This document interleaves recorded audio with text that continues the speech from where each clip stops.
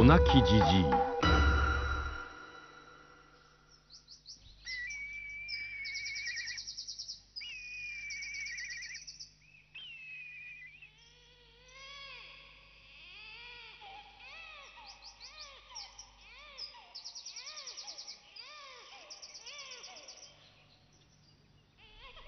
人のあまり足を踏み入れないような奥深い山で時々赤ん坊の鳴き声が聞こえることがある。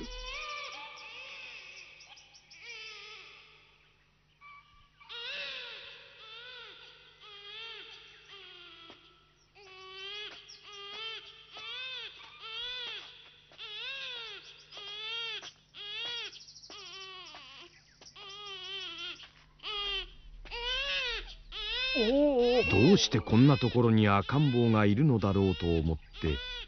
そのものを抱くといきなりしがみついてきて離れない逃げ出そうとすると重さが50貫にも100貫にもなり抱いたものは動けなくなってしまう。